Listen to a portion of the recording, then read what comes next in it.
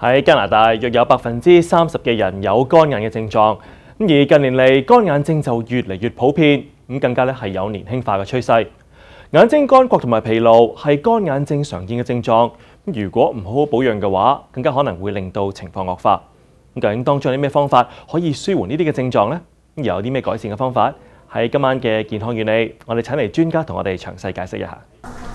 視光師布辛堅表示，乾眼症成因包括環境因素、荷爾蒙變化同其他身體疾病引起。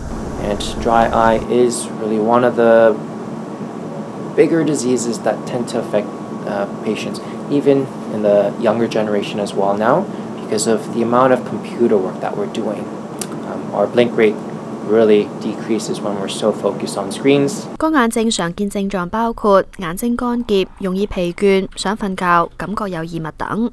咁视光师会喺检查病人眼睛之后，建议唔同嘅治疗方法。 Uh, ocular hygiene is very important.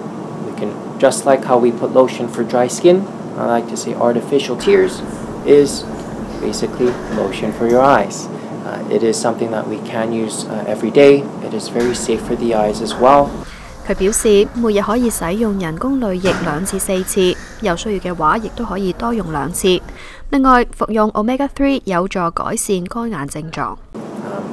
Uh, fun fact is there's actually a lot of oil glands within our eyelids, and so every time you blink, oils are released, and so uh, dry eye is actually very important with uh, good omegas.